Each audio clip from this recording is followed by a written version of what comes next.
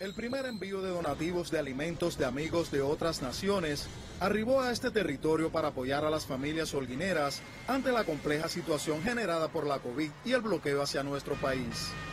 Con una rápida operación de transcontenedores, se realizó el traslado hacia los almacenes de la empresa mayorista de productos alimenticios, donde las autoridades del partido y el gobierno abanderaron un contingente de jóvenes de las FARC y otras entidades que tienen a su cargo el descargue de los productos donados. Este lugar se va a recesionar todo el donativo y desde aquí se va a distribuir a toda la bodega de la provincia de Oquín. Trae eh, arroz, trae azúcar, trae pastas alimenticias y trae eh, granos. Aclaro que en el caso de los granos es un donativo que puede, en dependencia del país de procedencia, o puede traer frijol, o puede traer lenteja, o puede traer chícharo.